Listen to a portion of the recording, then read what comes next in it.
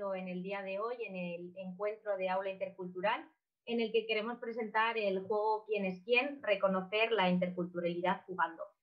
Em, desde aula intercultural eh, nos planteábamos ¿no? esta semana en la que se están llevando a cabo muchas acciones, muchas eh, acciones por el Día Internacional eh, de la Eliminación contra perdón, Día Internacional de la Eliminación de la Discriminación Racial, que se celebra este 21 de marzo, este domingo, pues desde Aula Intercultural queríamos contribuir ¿no? a este día, a esta conmemoración tan importante y pensamos que era un momento muy adecuado para hacer la presentación de este juego, ¿no? el quién es quién. Este, este Día Internacional de la Eliminación de la Discriminación Racial se celebra desde el año 1966. Fue en el año 1960 cuando, durante una manifestación pacífica que se estaba llevando a cabo en, en Starkville, en Sudáfrica, la policía eh, abrió fuego contra las personas que se estaban manifestando contra la ley de pases que estaba ocurriendo en esos momentos en el apartheid, ¿no? en Sudáfrica. Murieron 69 personas a manos de, la policía que abrió fuego. ¿no? Seis años más tarde, más tarde en 1966, eh, la Asamblea General ¿no? decidió que había que presionar, que había que instar a toda la comunidad internacional a que se acabara con todo tipo de discriminación racial. Y por ello, año tras año, se conmemora este 21 de marzo con el Día Internacional de la Eliminación de la Discriminación Racial. Bueno, eh, desde las Naciones Unidas, año a año, eh, organizan diferentes campañas con diferentes temas. Este año es eh, el tema La juventud se alza contra el racismo. Hashtag luchemos contra el racismo.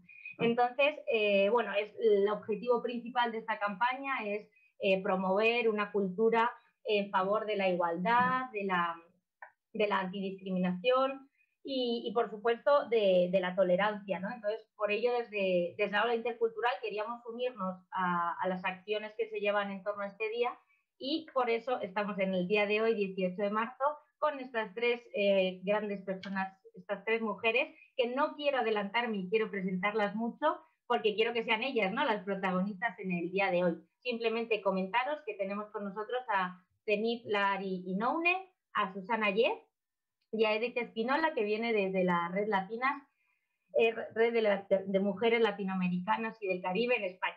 Susana Yes, periodista y también directora de un documental que no voy a contar nada más, y Zenith Larinoun es docente en formación profesional y campeona del mundo en un deporte que tampoco voy a adelantarme mucho más. Bueno, eh, yo soy Blanca Bondía, perdón, yo soy Blanca, yo vengo de parte del equipo de Aula Intercultural. Em, bueno, vamos a, os voy a contar un poquito cómo vamos a ir eh, llevando este, el, el evento. entonces, eh, voy a comenzar voy a comenzar haciéndonos una pequeña presentación de lo que, perdón, aquí. Voy a comenzar haciéndonos una presentación de qué es Aula Intercultural, cuál es nuestro proyecto, nuestra misión, nuestro, a qué nos dedicamos.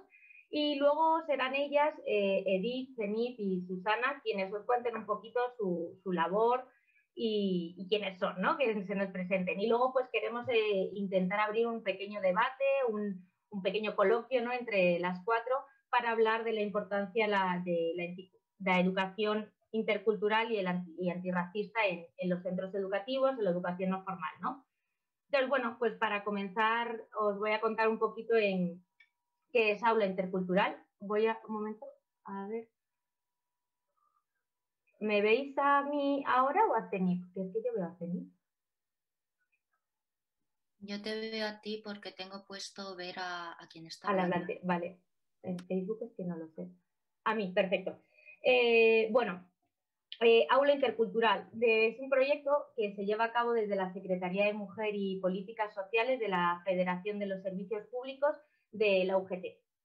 Entonces, eh, en Aula Intercultural llevamos ya 20 años trabajando para que los niños y niñas sean, sean ¿no? agentes activos en, en la lucha de la contra el racismo ¿no? y la xenofobia.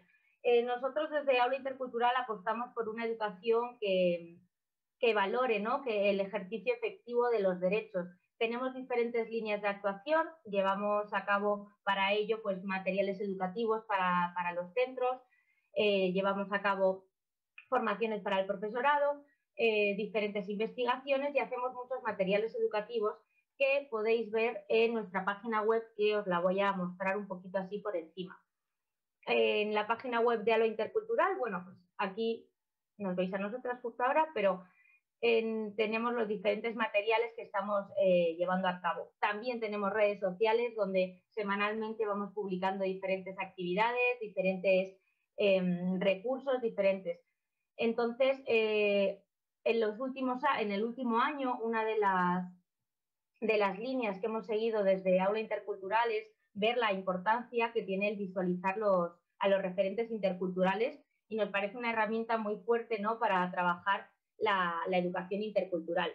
Uno de, entonces, por ello creamos el, juego el quién es quién, ¿no? El, este juego lo lanzamos hoy, nos gustaría que, que ahora, mientras estamos en este momento de, del encuentro, pues todos los que nos estáis viendo, si os apetece meter en el juego, eh, podéis ir descubriendo mm, diferentes personas, ¿no? organizaciones que poco a poco en su labor día a día van haciendo de este mundo un lugar mejor. Este juego eh, son diferentes preguntas y respuestas que, como os digo, os van acercando a, diferentes personajes, a diferentes eh, asociaciones que luchan por el antirracismo, contra la xenofobia y, em, y van creando, ¿no? como digo, un, mundo mejor. Como podéis ver aquí, este es el juego, tenéis aquí para, bueno, pincháis, tenéis el dado, ¿vale? Que le vais pinchando, saca un 5 y tenéis aquí las fichitas que las podéis ir moviendo y en cada una de las preguntas, aquí tenemos que van saliendo las diferentes preguntas en, en las casillas. Em, gracias a este juego, pues vemos que se puede, eh, que una de las labores ¿no? que tiene es aprender a valorar ¿no? el, cómo nos enriquece la, cultura diversa en la que vivimos, la interculturalidad en las aulas, eh, nuestro día a día, ¿no? Este juego no, es, no, está solamente para los docentes, no solo para los educativos, podéis jugar en vuestras casas, en familia, eh, ahora que nos toca un puente de quedarnos más bien en casa, pues podéis aprovechar para jugar y conocer como os digo, a todas estas eh, personas que para nosotras están haciendo una labor impresionante día a día. Y ya después de esta pequeña publicidad sobre aula intercultural, eh, me gustaría pues que sean ellas las, las protagonistas en el día de hoy. Las tres aparecen en, en este juego que os comento, en el quién es quién. Y son ellas las que queremos que, no quiero contar yo quiénes son, no os quiero contar, quiero que sean ellas las protagonistas de, de este encuentro. Entonces, eh, si te parece, Edith, podemos comenzar contigo. Que sé yo, voy a volver a poner el juego simplemente para, para que veáis un poco cómo funciona.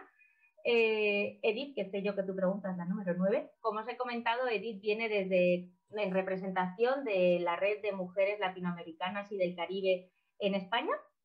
Y la pregunta es la siguiente. Dice así, la red de mujeres latinoamericanas y del Caribe en España tiene tres valores principales con los que guía sus acciones. Entonces, Edith, todo tuyo, este es tu momento, cuéntanos, ¿a qué os dedicáis? Tengo que pasar el examen, ¿verdad? antes que nada. antes que nada, muchas gracias por invitar a toda la red, porque aquí estoy yo en nombre de toda la red, ¿verdad? para participar de este juego y visibilizar todo el trabajo que nosotras venimos realizando, ¿verdad? Quién es quién en este juego ahora y, qué hacemos nosotras, ¿verdad? Eh, los tres pilares fundamentales son la sororidad y solidaridad, ¿verdad? Sin eso no podemos avanzar nosotras, ¿verdad? Porque somos una red de mujeres y eh, más que nada eh, tenemos que reconocernos como sujetas políticas, pero hermandadas en esta solidaridad y esta, este abrazo sororo que tenemos que tener todas. Después, el reconocimiento de la diversidad. Eso nos parece absolutamente fundamental porque nosotras como latinas, eh, que cada una tiene su costumbre, cada una cocina el maíz, el oro amarillo, como nosotras le llamamos, ¿verdad? De una forma distinta. Esa diversidad se junta en nosotras y vamos creando este camino, este tejido, este enredarnos para hacer una, una somos red, como dice nuestro hashtag, ¿verdad? Y después la alteridad, por sobre todas las cosas, ¿verdad? La alteridad tiene que ser siempre uno de los pilares para más que nada reconocerle a la otra persona que, que puede tener una opinión, que ella es eh, partícipe, puede opinar lo que sea, pero ir eh, construyendo este camino de diálogo para que vayamos reconociéndonos que somos diversas, que somos mujeres, que somos sujetas y por sobre todo que nosotras venimos con nuestros propios conocimientos. Eh, la red latina tiene 14 asociaciones y más mujeres a título individual. No solamente estamos en Madrid, sino que estamos en todas las autonomías prácticamente ya de España. Estamos en País Vasco, en Galicia, en Barcelona, estamos en Donostia, en Sevilla y nos vamos ahí eh, visibilizando y trayendo a más compañeras en Granada, en Málaga. Entonces vamos cada una aportando desde nuestros saberes. Eh, hay mujeres de Colombia, hay mujeres de Ecuador, de Perú, de Nicaragua, de Guatemala, de Honduras, y cada una viene con un saber, porque nosotras las latinas, las sudacas, las entracas, venimos con esa, con esa fuerza, esa resistencia de nuestras ancestras. Eso nos hace muy orgullosas. A nosotras cuando nos dicen sudacas, sí, soy sudaca y me encanta que me lo digan porque me siento muy, eh, muy orgullosa de tener esta sangre indígena, esta sangre, estos conocimientos, que me, que me apoyan y me guían en este camino de sororidad.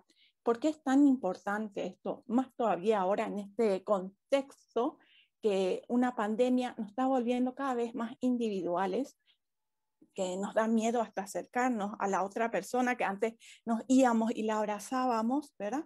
Eh, esta pandemia está creando esta individualidad, cortando estos hilos que, tenemos que buscar la forma de seguir tejiendo esta resistencia. Nosotras no podemos seguir em, permitiendo que una enfermedad nos siga individualizando.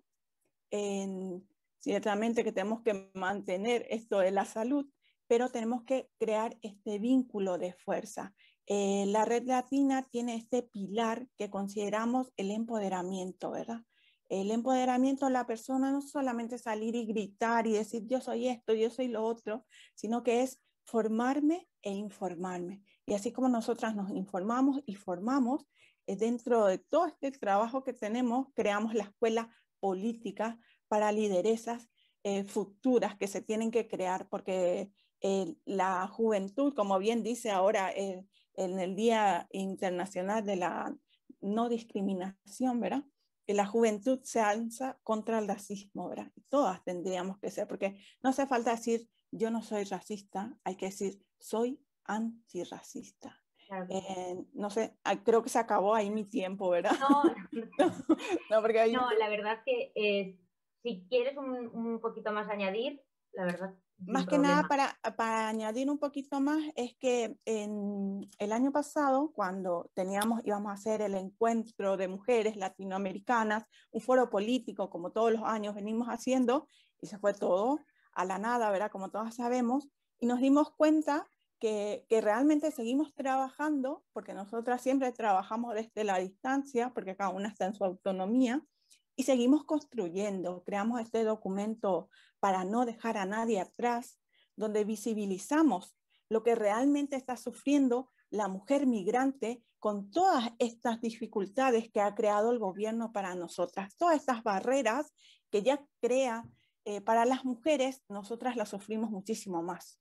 Al ser migrante, se atraviesa esta ley de extranjería que te convierte en si eres sujeta de derechos o solamente un objeto para uso y abuso. Entonces, esto tenemos que seguir trabajando. Eh, yo sé que Susana, tanto como Zenit, van a ir aportando más, así que seguimos. Muchísimas gracias, Edith. La verdad es que de lo que me cuentas me, me ha encantado varias cosas que has dicho, ¿no? Lo de, sea, sois una red, efectivamente, de mujeres eh, y vais tejiendo, ¿no? Como cada una en estos momentos, ¿no? Que también justo antes, cuando antes de entrar aquí estábamos diciendo la pandemia, pero que también está favoreciendo estos momentos de unión, de seguir tejiendo, de seguir uniendo, ¿no? Que nos hemos unido ahora cuatro, cuatro mujeres eh, por una misma causa, ¿no? Una misma acción, una misma labor ahora mismo. Y, luego también me ha encantado, que me la voy a quedar esa frase, ahí sea, apúntatelo, nos lo quedamos para en algún momento, lo importante es formarme e informarme, ¿no? El crear que has comentado esta escuela eh, para las mujeres que se formen y luego también informar al resto de qué está pasando aquí.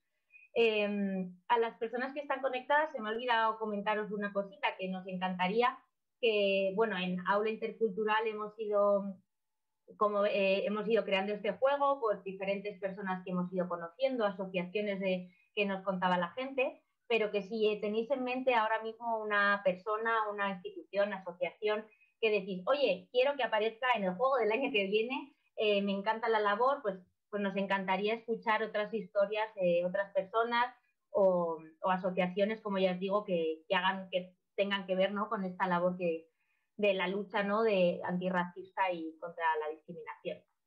Muchísimas gracias, Edith. Eh, si os parece, seguimos con Tenif, que está por aquí. Voy a, como os he dicho, Tenif es, docente de formación profesional. De hecho, muchísimas gracias, Tenif, porque creo que acabas de salir, que vienes directita. Eh, entonces, bueno, eh, voy a poner aquí la pregunta de Tenif para que ella nos cuente ¿no? cuál es el motivo que, que para nosotras es indispensable que Cenip esté en, este juego. Hay una medalla en su casilla, por lo tanto ya nos da un poquito idea de por dónde van los tiros.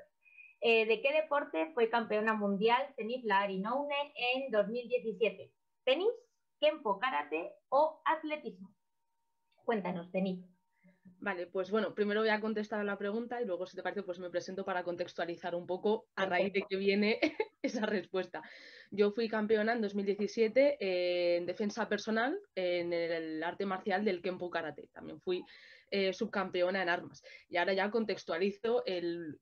De por sí es un gran mérito, yo creo, ser campeona del mundo y es algo de lo que me siento plenamente orgullosa y de hecho siempre intento que se vea un poco de fondo alguna de las copas y medallas pero creo que lo es aún más cuando contextualizo y digo que yo soy hija de inmigrantes marroquíes, que yo he nacido en Madrid, tengo 26 años pero que yo he tenido un montón de dificultades, sobre todo a nivel académico, y no porque no tuviese las capacidades para desarrollarme en la secundaria, que fue cuando empecé a tener problemas, sino porque eh, los docentes que yo tenía, pues tenían una idea bastante prejuiciosa y racista, islamófoba, sobre las comunidades marroquíes y musulmanas, y por lo tanto les dijeron a mis padres que era mejor que yo dejase de estudiar y que me optase por una formación profesional o directamente que saliese porque acabaría casándome a una edad muy temprana y que por lo tanto pues no merecía mucho la pena seguir estudiando. Yo a la par, desde los ocho años, llevo practicando este deporte que es el Kempo Karate y yo creo que esto es lo que precisamente me ha permitido poder desarrollarme también incluso a nivel académico, ya que yo me daba cuenta de que en el instituto no, no estaba en mi mano al 100% eh, las notas que pudiese sacar, el desarrollo que pudiese tener o cómo me pudiese sentir. Sin embargo, con el deporte me daba cuenta de que yo me esforzaba y yo obtenía unos resultados, pues no inmediatos, pero era algo que yo podía controlar básicamente. Por lo tanto, me esforzaba tanto y precisamente el deporte me permitió tener como una organización dentro de mi vida, dentro de mi día a día, para hacer mis tareas del instituto, para practicar el deporte, para estar con mi familia. Y como os decía, en 2017, después de varios años practicando deporte, a día de hoy son 18 años, eh, la selección española de Kempo Karate me invitó a formar parte del equipo y a representar la bandera española en, el Mundial que fue en Portugal, en Albufeira. Y para mí este es un gran paso porque incluso habiendo nacido aquí en España, teniendo DNI y demás, siempre se nos intenta extranjerizar y decir que no somos 100% españoles por el nombre, por el apellido, por la cultura, por la religión en mi caso también. Y el hecho de representar a la selección española, es decir, levantar la raya, o sea, la raya, perdón, lo he dicho en marroquí, la bandera española, eso ya te da a entender que tú ya formas parte de esta, de esta comunidad y es necesario también empezar a visualizar eh, la existencia de todas aquellas personas que somos racializadas y que también somos españolas, porque siempre que hablamos de racismo, me parece fundamental, hablamos de las personas migrantes, pero muchas veces nos olvidamos de las personas que nacen y crecen aquí, que ya forman parte de la sociedad igual que todos y que son españoles de pleno derecho, no españoles de segunda categoría ni de tercera categoría. Y también es un poco para eliminar esa idea del español castizo y que no es nada nuevo, y yo también además como docente que soy, eh, debemos recordar que eh, la diversidad étnico-racial, lingüística, cultural no es nada nuevo en la península ibérica, ya que es un territorio de paso y al final aquí hemos tenido un montón de pueblos, de culturas, de lenguas, de religiones.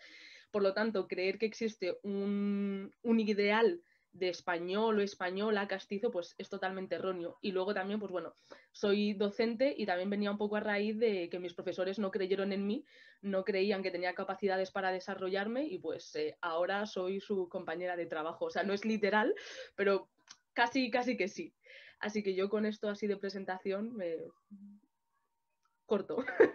No, perfecto, perfecto, eh, creo que además justo lo que estabas comentando al final, ¿no? De lo que decías, ¿no? Que no hay españoles de primera ni de segunda, de segunda, ¿no? Que al final es muy importante, pues eh, estamos hablando de los descendientes de personas que al final, pues que están aquí y que son eh, como todos y como todas, ¿no? Y creo que eso viene muy ligado ahora que vamos a dar paso a Susana, que no me voy a adelantar, pero bueno, su documental roza un poquito este tema, nos habla de ello y ahora nos lo contará ella. También, Zenit, súper importante lo que has dicho, ¿no? Como docente, eh, cómo tú has vivido, ¿no? En tus propias carnes lo que en la, en la educación, en la escuela, en los prejuicios que, que, se encuentran, ¿no? Luego ya hablaremos de, viendo lo que tú nos cuentas, ¿no? De tu historia propia, la importancia de que sigue, seguimos teniendo, ¿no? El labor día a día para acabar con todos estos prejuicios que hay en, en nuestro día a día, en la educación y en la sociedad Entonces, bueno, vamos a, a pasar con Susana.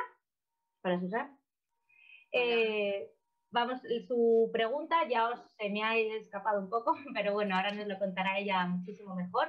Susana es periodista y bueno, es como os he comentado al principio, es directora de un documental que, a ver, que no me entra ahora. ¿De qué trata el documental Chiñones y Bananas? Susana, es tu momento. Chan, chan, chan, qué momento más tenso. No sé si responderé bien. Seguro. Eh, pues el documental Chiñales y Bananas lo realicé en 2015 precisamente porque yo misma estaba un poco, digamos, falta de, falta de, más voces ¿no? con las que conversar sobre este tema y lo compartí en abierto en 2016 eh, y trata y conecta con lo que, eh, con lo que hablaba Zenit, ¿no? Trata sobre gente que son hijos de migrantes económicos chinos en España, de los primeros llegados chinos en España.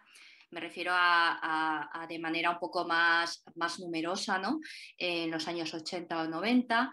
Eh, y, trata un poco de, poner, de, simplemente, eh, trataba de simplemente darles un espacio donde se pudieran pensar en alto y en público y de un modo lo más natural, eh, lo más mm, antiprejuicioso posible, ¿no? Que hablarán de, de sus inquietudes, de, de, cómo era su relación familiar, cómo se veían a sí mismos, eh, cuáles eran un poco su, proyecto de vida eh, aquí, si lo veían aquí en España, qué tipo de relación tenían con el país de, origen de sus padres. Aborda un poco todos estos palos y sobre todo a mí lo que me movía era un principio de, periodista, ¿no? de periodismo social, que es el que al final yo abordo, eh, pero también con el tiempo me di cuenta de que en el fondo era un poco una excusa para mí, porque en realidad era algo que, yo, que a mí misma me atraviesa, porque yo también soy parte de, esa historia, ¿no? Yo también soy parte de, esa comunidad, ¿no? Es interesante lo que dice Zenit, ¿no? Que muchas veces cuando se dice español o española no se piensa en nosotras y, lo somos y estamos aquí, eh, como tú decías, Blanca, y, y hay que empezar un poco a, incorporar eh, más estas perspectivas. El documental cuando, cuando salió y, cuando se publicó en abierto eh, no tuvo, eh, digamos, un recorrido magnífico, masivo, espectacular. muchas veces a mí me entrevistaban compañeros precisamente porque se habían visto el documental, pero sin embargo me me citaban como un testimonio, como si me hubieran encontrado por la calle y ya está. Eh, era, un poco, eh, era un poco extraño para mí porque era como somos de la misma profesión y yo he hecho trabajo sobre ello eh, de carácter periodístico, ¿no? Y de hecho me consta que, te ha servido como un recurso de, de, tu investigar y de tu familiarizarte con, este, con esta cuestión? Eh, ha sido los últimos dos, tres años, sobre todo, que ha empezado a ver, digamos, en los más media, en los, en los medios generalistas, ha empezado a abordarse este tema, ha empezado a, hacerse, a hacernos caso, pero no creo que haya sido de arriba abajo, sino de abajo arriba. Ha sido porque los jóvenes de ascendencia china se han empezado a organizar, que eso es lo que faltaba, un poco más de asociación, un poco más de encuentros, eh, de espacios de encuentros, y entonces es como que los medios han dado cuenta de que tenemos voz y los medios han dado cuenta de que tenemos discurso y los medios han dado cuenta de que no solo somos, eh, digamos, eh, gente a la que recurrir de manera excepcional y ya, ¿no? Em, esa autoorganización, ese, digamos, es empezar a crear espacios comunes, es lo que ha hecho, yo creo, que los medios se den cuenta de que, eh, de que, de que, estamos aquí, de que realmente estamos aquí. Eh, eso ha permitido que yo pueda, como periodista, empezar a informar sobre ello teniendo ya un recorrido como periodista al uso tradicional generalista, ¿no? Eh, y es lo que he procurado hacer en los últimos dos o tres años, aprovechando este momento de interés, ¿no? aprovechando este que los jóvenes ya eh, empiezan a poner en común y empiezan a conversar entre ellos sobre este tema y a organizarse, em, bueno, pues he intentado incorporar una perspectiva de género, una perspectiva antirracista eh, y he intentado eh, también siempre mantener una postura muy abierta y muy de, y muy de crear lugares de encuentro. yo escribo eh, piezas que son más de análisis, porque creo que también muchas veces se tiende a lo puntual, a lo anecdótico y lo que nos falta es pensarnos mucho y es informarnos bien y es explicar muchas cosas de un modo que funcione tanto dentro de la comunidad como fuera de la comunidad. Ese es mi modo de trabajar y, y bueno, ¿qué más? ¿Qué más? Pues eso, eh, que, soy periodista y que, que procuro que conviva, eh, digamos, esa coherencia personal, porque yo también formo parte de esa historia, y eh, mi parte profesional, ¿no? Como, como alguien que entiende muy bien cómo operan los medios, entiende muy bien cómo opera los mecanismos de atención del público que son bastante escasos y que, digamos, hay que tomarlos con, mucha responsabilidad y que no sé si hay un ruido extraño por ahí, eh, no sé qué ha pasado, cosas del directo. Y, bueno, eh, básicamente eso. Em, también quería decir que eh, aparte de mi documental, empiezan a haber más documentales que eh, actualizan y que amplían un poco el, trabajo que yo hice, porque al final es de hace seis años. Eh, hace cinco años publicado en abierto, pero hace seis años y en seis años han, cambiado cosas eh, y me alegro, me alegro profundamente, han cambiado cosas y, van surgiendo más reflexiones. Por ejemplo, yo no incorporé tanto eh, la perspectiva queer o la disidencia eh, de, género, ¿no? de sexual y, eso ya las nuevas generaciones ya lo están abordando, ya se está rompiendo ese tabú, por ejemplo. ¿no? eh, tema de la salud mental también, eh, todo esto ya eh, en su momento, cuando yo lo hice, eh, era un inicio de conversación y ahora esa conversación sigue y, va incorporando muchos más temas que yo creo que nos atraviesan a, muchas personas, ¿no? Y yo creo que ya, creo que ya. Maravilloso, Susana muchas cosas de lo que has comentado que, me apetece comentar, pero en el final me has dejado ahí un poquito, va a haber chiñoles y bananas dos, porque ahí dicen, no seguimos, ¿no? Hay muchas cosas todavía que tú empezaste, ¿no? Ha sido como una introducción, un abrir boca, te quedas con ganas de continuar, ¿no? Contando la historia. Pues es que me lo han preguntado bastantes veces. eh, lo han preguntado, no, no, no, en petit comité, no me lo han preguntado tanto en público, sino en petit comité, ¿no? Eh, pues la idea es que sí, la idea es que sí. Lo único que, eh, eh, bueno, ahora mismo estoy priorizando cosas vitales, pero la idea es que sí, que haya una segunda entrega.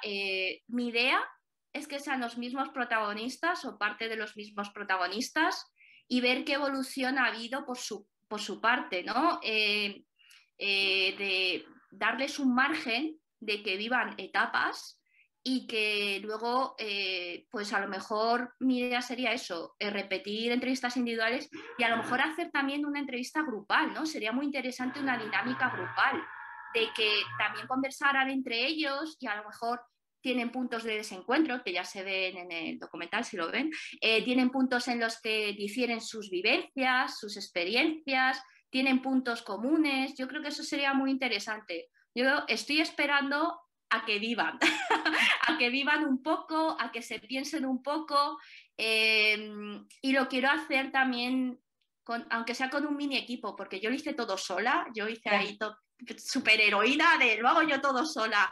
Eh, la producción, el contacto, la edición, la, difusión fallida que, hice y demás. Eh, y esta vez, pues, eh, me gustaría tener un poquito más de apoyo para que salgan las cosas un poquito mejor, más finas, ¿no? que nunca viene mal, y también ser un poco más inteligente por mi parte a la hora de pensar en, vale, ya lo he hecho y ahora toca moverlo.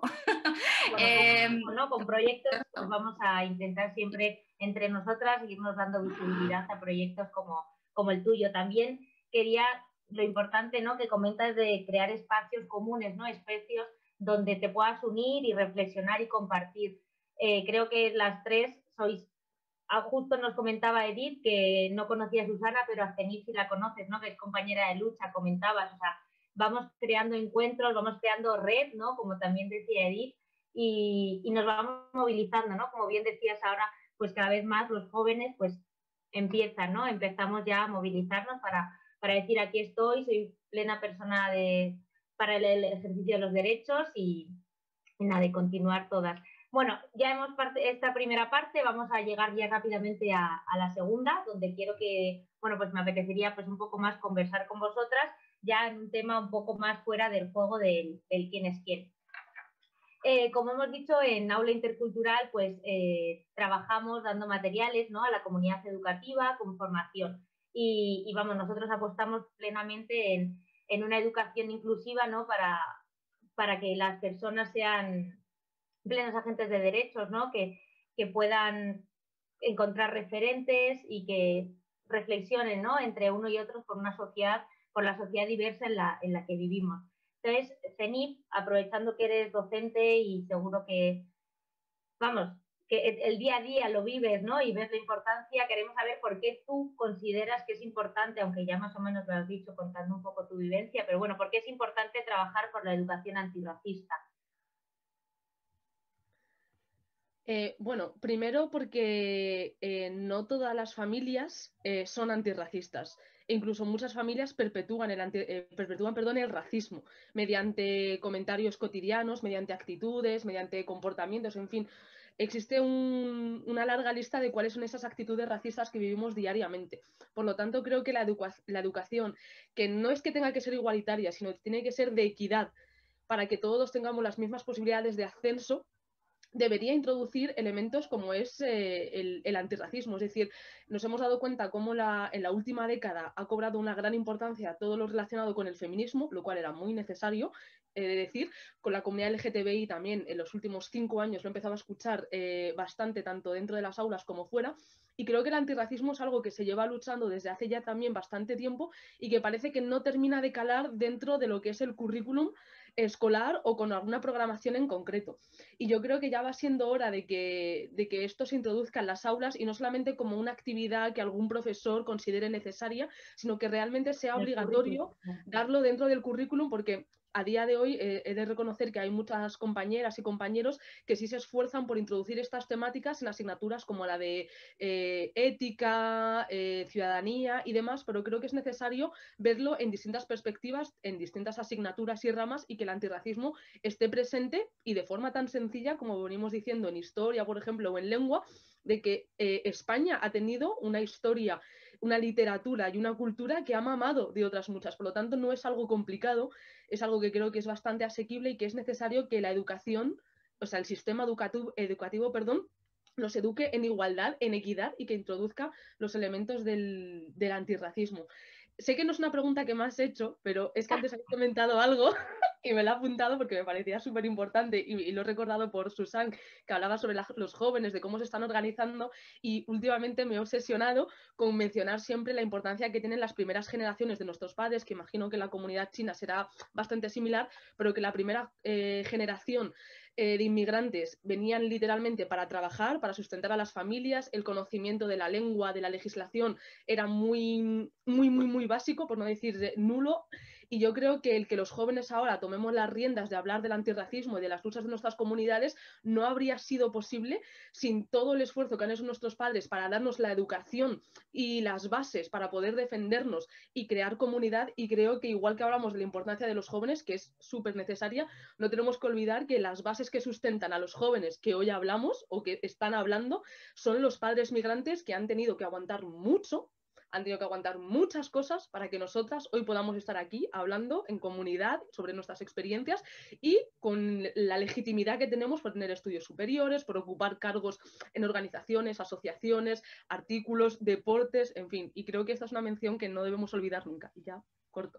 No, no, Quería, si puedo, quería interlocutar con lo que ha dicho Zenit porque yo siempre lo digo en cada intervención que hago. Yo estoy aquí hablando con vosotras porque mis padres han hecho el sacrificio y el esfuerzo y la valentía de dejar atrás un país en el que han pasado su vida, como ha hecho también Edith y las mujeres latinoamericanas y del Caribe. Es muy duro, es muy duro dejar toda tu red de apoyo, toda tu cultura, todos tus recuerdos, el poder de la palabra, el poder de controlar un idioma como es el chino que aquí no les sirve y que se burlan del acento y de cómo hablan y les infantilizan y se creen que no se enteran de las cosas, se creen que no se enteran de si les están faltando el respeto, perdón, si se enteran. Otra cosa es que no reaccionen porque no tienen el poder de la palabra, yo como periodista, como comunicadora, la palabra es muy importante, el lenguaje, la comunicación, el poder argumentar, el poder verbalizar lo que sientes, lo que te atraviesa es muy importante. Y es totalmente, eh, es que me emociona y todo, es totalmente importante que no olvidemos que estamos aquí por ellos y que eh, hemos podido tener una educación, hemos podido eh, seguir un camino por ellos y hay que estar muy orgullosas, muy orgullosas y hay que eh, no perder de vista eso, ¿no? Somos muy españolas, hemos nacido aquí, nos hemos criado aquí, pero también nos debemos mucho a la historia de nuestros padres, muchísimo. Y yo solo quería decir eso y ya está, que me emociono y me vengo arriba. No, no, la verdad que totalmente, ¿no? Es lo que estaba diciendo Cenipa al principio, ¿no? La importancia de recordar, por supuesto, ¿no? De los vuestros padres, vuestras madres, que fueron quienes lo dejaron todo atrás para llegar y construir un futuro mejor, que es el que ahora mismo estáis, ¿no? Pero también yo creo que una cosa que siempre repetimos en, en aula intercultural es esta sociedad diversa de la que hablamos no es ninguna novedad, ¿no? Es lo que está diciendo Zenit, no es algo nuevo que nuestra sociedad sea diversa, ¿no? Es desde hace, vamos, desde los siglos de los siglos, la, la sociedad se han ido moviendo, se han ido mezclando y, por eso yo creo que, que, hay que recordar que no es algo nuevo, ¿no? Que es algo que, que vive con nosotros de, siempre. Eh, qué bonito todo lo que habéis dicho las dos, la verdad que me ha apuntado muchísimas cositas. Eh, Edith, para seguir ya un poquito, porque la verdad es que vamos un poco mal de tiempo, em, eh, estamos hablando de que una de las líneas que llevamos en habla intercultural es la importancia ¿no? de crear em, protagonistas reales, ¿no? que en los libros, un poco enlazando con lo que decía Zenith, que en los libros, que en las escuelas se hablen de protagonistas reales de la sociedad real, que que haya protagonistas que reflejen la diversidad real que tenemos en, eh, en, nuestra sociedad. Entonces, ¿por qué crees que es importante que exista ese tipo de materiales, ¿no? que se sigan fomentando esta creación? A ver, em, ¿por qué se tiene que, primero, ¿por qué se tiene que crear, verdad? Eh, se tiene que reconocer la diversidad.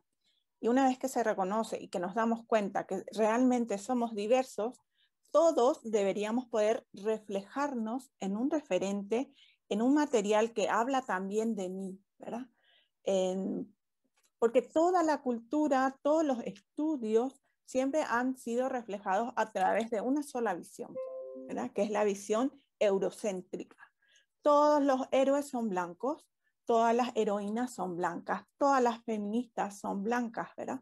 Entonces se dejan atrás esas referentes nuestras que, tienen siglos. Imagínate la cultura china que es muchísimo más antigua. Eh, la primera universidad que existe en el mundo no es la de Bolonia, ¿verdad? Sino que es la madrasa, que es marroquí, ¿verdad? Y nadie habla de Fátima, de Fátima Alfiri, ¿verdad? No sé si lo dije bien, Senindulado, tú me corriges, ¿verdad? Pero entonces, entonces se borra, se anula y se bloquea, se invisibiliza todas las luchas y los conocimientos. Entonces, eh, mientras no haya materiales que que realmente nosotras nos veamos reflejadas y que no seamos algo anecdótico, no seamos eh, cada fallecimiento o cuando haya un sufrimiento, eh, cuando sea Martin Luther King o cuando sea Rosa Parks y ahí todo el mundo se pone un cartelito y la recuerdo a esta, sino que haya un material que refleje realmente lo que yo soy, en quién me veo y que realmente sea una diversidad. Por eso para nosotras, por ejemplo, es importante esta escuela política, ¿verdad? donde nosotras mismas podemos ver a, nuestras referentes. Nuestra escuela, por ejemplo, se llama Julia Tamayo. ¿Quién es Julia Tamayo? Nadie la conoce, pero es una referente feminista colombiana, luchadora, que ha luchado por la paz en su país, ¿verdad? Entonces, nadie la conoce, nosotros sabemos quién es, por eso queremos seguir impulsando y crear estos materiales donde nosotras nos vemos reflejadas y donde nuestras hijas, cuando dicen, yo quiero verme porque es la historia así, pero yo no me siento así, y, se sienten muchas veces violentadas por esas historias que van contando, ¿verdad? Y, siempre cuando hablan de los moros, le miran a la compañera que tiene el hijab. Eh, si hablan de los chinos, eh, le miran a la compañera como diciendo, ah, ustedes los amarillos. Si hablan los latinos, pues, ah, las sudacas, ¿verdad? Entonces, no te ves reflejada realmente en la historia, siempre te ves en el lado del malo, en el lado del esclavizado y en el lado de la victimización, ¿verdad? Entonces, por eso es importante crear materiales donde realmente haya esta diversidad, donde haya realmente esta historia de todas y no solamente la historia de una parte. La verdad que eh, completamente es la, en aula intercultural creemos completamente que, esa es la importancia, ¿no? Porque como bien has dicho, si, no aparecen los referentes, ¿no? De todas ciudades, estamos invisibilizando una parte de nuestra historia, estamos, no estamos contando todo como ha sucedido, ¿no? Solamente estamos contando una parte. Y, los niños y niñas necesitan verse, ¿no? Necesitan decir, oye, en este libro, ¿por qué, ¿Por qué no hay nadie eh, con rasgos asiáticos? Porque no, no estamos, ¿qué significa? Que no existimos, ¿no? Por supuesto, tienen que aparecer, ¿no? Em, y, solamente para agregar algo, cuando Zenit estaba hablando del tema de, de hacerte una formación profesional, me acuerdo cuando yo me iba a las reuniones de, de, padres de mi hijo, ¿verdad? Que siempre quisieron ponerle en el aula la diversidad porque él es migrante, porque quizás viene más atrasadito, ¿verdad? Entonces, luchar contra esa barrera de racismo de los propios profesores es muy difícil para nosotros los padres. Incentivarle, decirle, no, tú vales, tú puedes hacerlo, adelante, yo te ayudo, ¿verdad? Entonces, eh, desde la escuela, los mismos profesores tienen que recibir estos materiales y que no sea una clase anecdótica de hacemos cinco horas de antirracismo y con eso yo ya soy un profesional del antirracismo, ¿verdad? sino que sea realmente una materia donde los profesores vayan abriendo su mente y se den cuenta de que existe el antirracismo y que eso, de que existe el racismo y que eso se tiene que luchar y se tiene que realmente erradicar. Eso, efectivamente, como ha dicho Zenith antes, ¿no? No es, el antirracismo no es algo que de repente hablamos en una clase de ética, es una, no es una asignatura, es un hecho transversal que tiene que aparecer en, en todas las asignaturas, en todas las horas de, educación de los niños y las niñas. Y ya para, para terminar, antes de entrar a las preguntas de, de quienes nos están viendo, pues hemos hablado ya un poquito de ello, pero Susana, porque nos hables también un poquito más de tu opinión sobre la importancia de los referentes, ¿no? Ya ha abierto un poquito el tema Edith, pero Susana, los referentes en la educación, eh, ¿por qué también son importantes? Eh, bueno, los referentes son importantes porque em, yo creo que hay una empatía y hay una comprensión que, y también un, poder ver más opciones, ¿no? Eh, si tú tienes referentes. Eh, primero, si tú tienes una profesora que es de ascendencia asiática, va a entender muy bien qué, es lo que te está atravesando, cuáles quizás son los problemas que, te está, que estás teniendo, ¿no? Eh, cuál es la situación en, tu casa, el conflicto ¿no? de casa mm, versus calle, resto de sociedad. Em, y tú también como niño o niña sabes que no solo hay un tipo de futuro, eh, para ti. ¿no?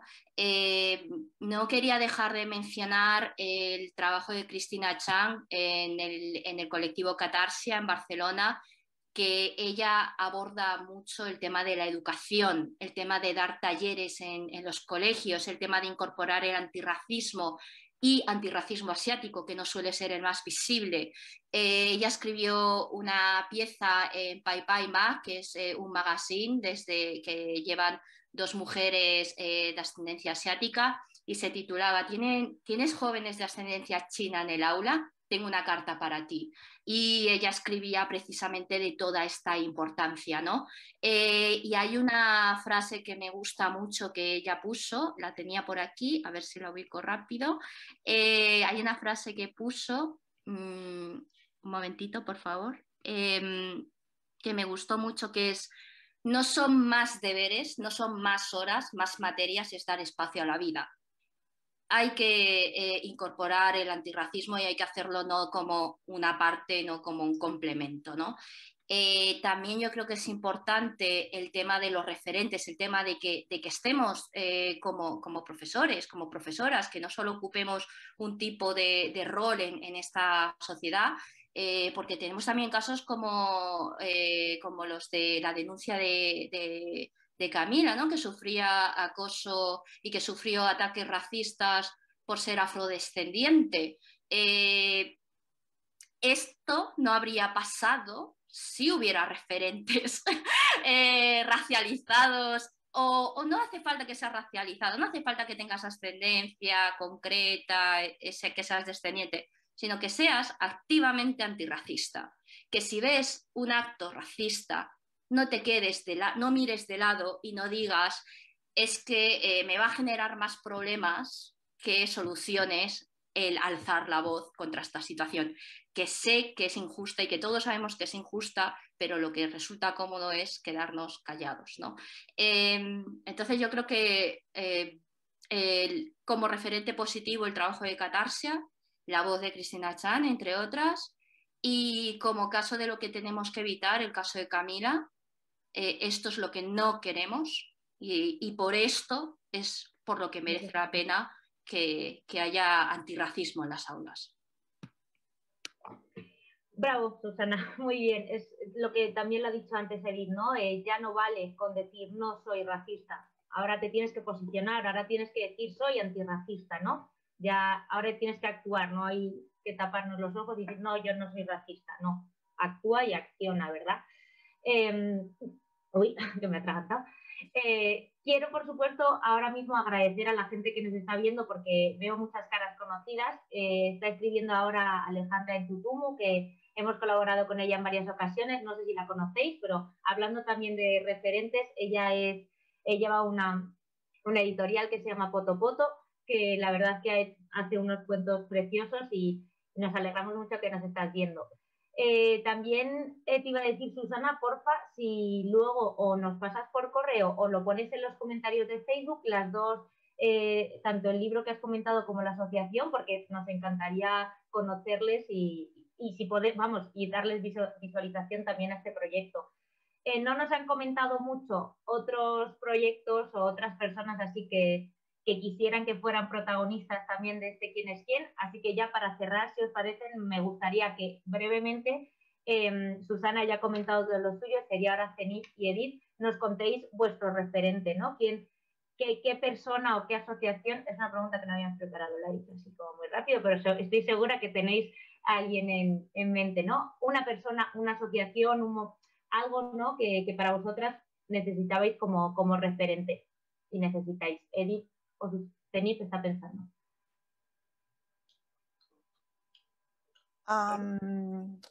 depende, depende si tiene que ser de aquí o si tiene que ser de allá, ¿verdad? Entonces, em, a mí, por ejemplo, me gustaría mucho, porque en la red trabajamos mucho lo comunitario, la fuerza, eh, la comida, el tejido, ¿verdad?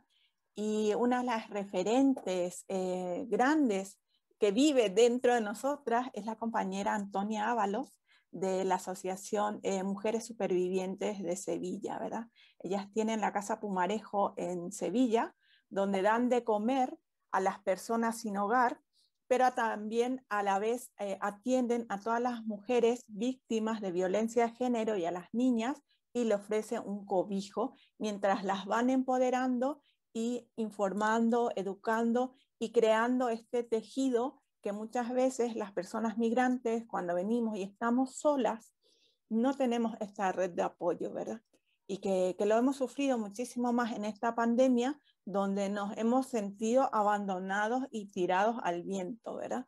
Entonces yo creo que ella una de las referentes, una mujer con muchísima fuerza, con muchísima lucha y esta asociación que hace el bien no solamente para las personas migrantes, sino para toda la comunidad que está ahí y que es feminista, activista, antirracista y que realmente es un parapeto de lucha, de amor y de tejido en red para nosotras. Me y si hablo de, ¿Me puedes repetir el nombre? Eh, eh, mujeres supervivientes de Sevilla. Perfecto. Por cierto, perdóname, Edith, antes me ha, preguntado una compañera por el Facebook que si os encontráis en, Sevilla. Entiendo que como sois diferentes redes, no hay sede fija o cuéntanos.